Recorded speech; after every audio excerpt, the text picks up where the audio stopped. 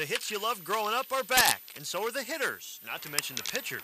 The Senior Professional Baseball Association's second fall training camp brings the boys of summer back for one more winter season. In this league where everyone but catchers has to be 34 or older, 33-year-old Marty Castillo is a babe at the backstop. A lot of these guys are, are even older than me still.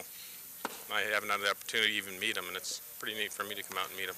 Hey, Cribbage button. Hey, it's also a chance for old friends, sorry, good friends, to get back together. Some of us were teammates 15 years ago, you know, like me and Pete Mackanin in his first year here. We were teammates in 73 in Spokane, and God, I haven't seen him hardly at all since then. So, you know, getting back with the guys and, and uh, just being out on the field again.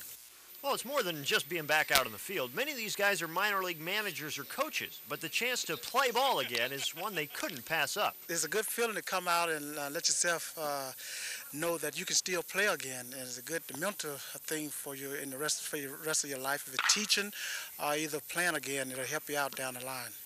The Senior League played its first season with eight teams in spring training stadiums around Florida. This year, there are only six clubs four in Florida, one in Arizona, and one in California. Last year's rosters included stars like Graig Nettles, George Foster, and Earl Weaver.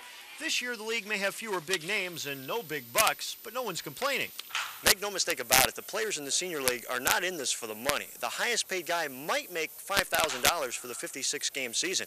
No, it's a love of the game that brings these guys back. I could be 64 and I'd still give it a shot because I really do love it. Uh, I've loved it ever since I could walk, and uh, this is just another chance for me to enjoy the game that I love.